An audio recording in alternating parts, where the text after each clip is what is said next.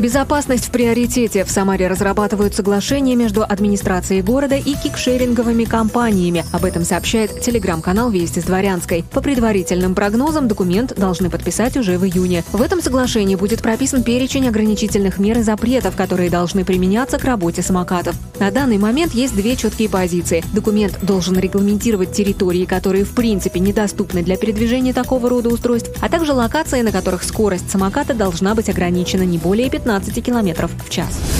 Руководитель пресс-службы мэрии Самары Елена Рыжкова рассказала в своем телеграм-канале о встрече с коллегами из Ульяновска, которым продемонстрировали муниципальные учреждения. Одно из таких мест – детская библиотека народов Поволжья. Она открылась в прошлом году после обновления в рамках нацпроекта «Культура». Как и во всех таких проектах, администрация города старается создать современное досуговое пространство. Здесь уютно и комфортно, много книг и плотный график интереснейших мероприятий. А дети приходят не просто за книгой, а пообщаться, посмотреть фильм или послушать стихи, посетить целый целую музейную экспозицию.